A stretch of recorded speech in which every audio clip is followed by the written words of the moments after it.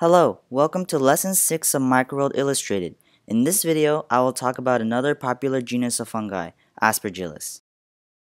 Aspergillus is actually a genus of fungi just like Cladosporium. It also contains many species, but there are three that are far more common than the rest.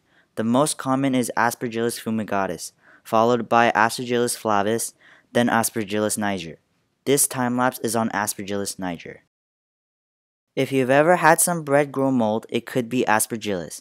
Aspergillus, along with Cladosporium, Penicillium, and the common black bread mold, all grow on bread, fruits, and other perishable foods. These fungal bodies can be described very similarly to that of a flower. These clear stem-like structures are specialized hyphae called the conidiophore. Its function is to support these ball-shaped structures called the vesicule. The vesicule is where the spores are produced, just like a flower with its pollen.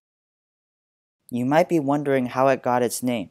The name Aspergillus was given by a Florentine priest mycologist in 1729 because the spore-producing structure of the genus resembled an aspergillum, which is a device used by Catholic Church to sprinkle holy water. Thank you for watching my video. If you'd like to see more of these time lapses and microscopic videos, click the subscribe button and the bell notification down below. Please like and comment any questions or comments you have, and I'll see you in my next Microworld Illustrated video.